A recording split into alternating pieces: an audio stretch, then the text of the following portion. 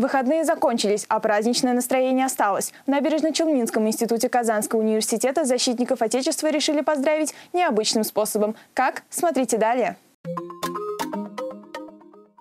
Что преподнести однокурсникам – шампунь или носки? Как известно, лучший подарок – сделанный своими руками. Студенты подготовили видеоролик, где забрали поздравления от прекрасной половины института, а также выяснили, каким видит девушки настоящего мужчину. Мужчина – это тот, кто тебя любит, оберегает, который заботится о тебе. Он хозяйственный, он любит нас, любит семью. Кто любит свою родину, уважает ее и ценит. Не обошлось и без теплых пожеланий в адрес молодых людей. Желаю, чтобы мужчины были верными, любящими. Были опоры для своей семьи.